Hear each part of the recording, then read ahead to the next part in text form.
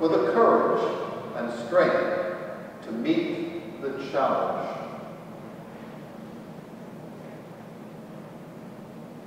Lord Jesus, your cross and resurrection are signs of a new beginning of peace and reconciliation.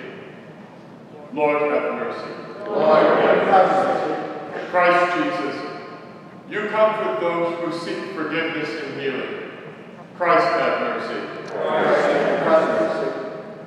Lord Jesus, you gave us a new commandment to love as you love. Lord, have mercy.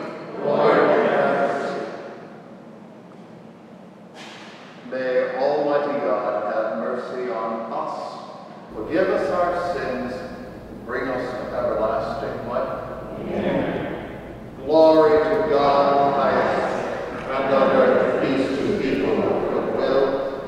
We praise you, we bless you, we adore you, we glorify you, we give you thanks for your great glory. Lord God, heavenly King, O God, Almighty Father, Lord Jesus Christ, only begotten Son, Lord God, Lamb of God, Son of Father, you take away the sins of the world, have mercy on us.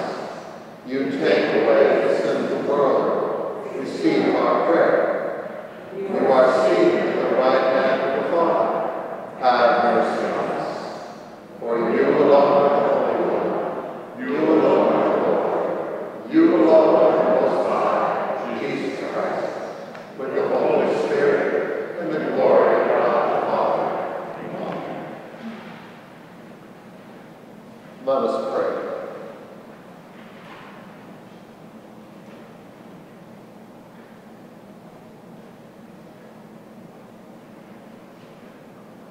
Look upon us, all, O God, creator and ruler of all things, that we may feel the working of your mercy. Grant that we may serve you with all our heart. We ask this through our Lord Jesus Christ, your Son, who lives and reigns with you in the unity of the Holy Spirit, one God, forever and ever.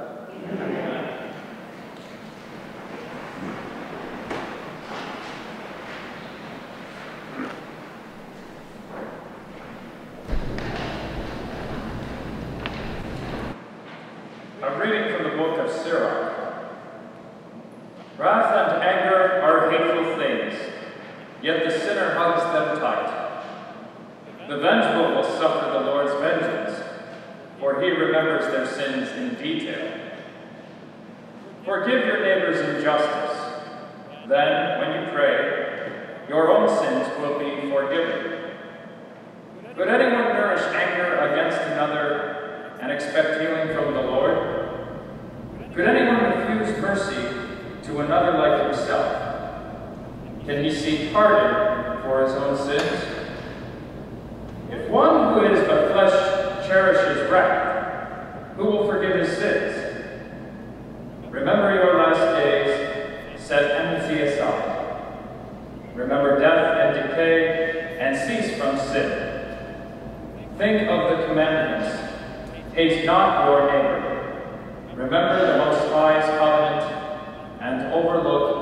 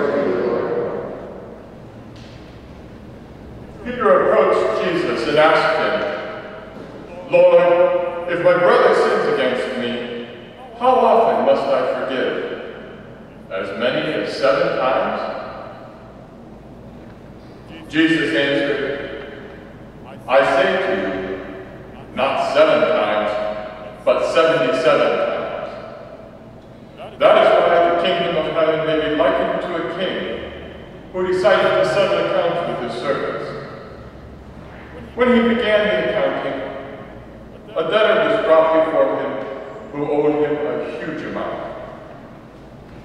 Since he had no way of paying it back, his master ordered him to be sold, along with his wife and children and all his property, in payment of the debt. At that, the servant fell down, did him homage, and said, Be patient with me, and I will pay you back. Moved with compassion, the master of that servant let him go and forgave him the loan. When that servant had left, he found one of his fellow servants who owed him a much smaller amount. He seized him and started to choke him, demanding, Pay back what you owe. Falling to his knees, his fellow servant begged him, Be patient and I will pay you back. But he refused, and instead he had the fellow servant put in prison until he paid back the debt. Now when his fellow servants saw what had happened, they were deeply disturbed and went to their master and reported the whole affair. His master summoned him and said to him,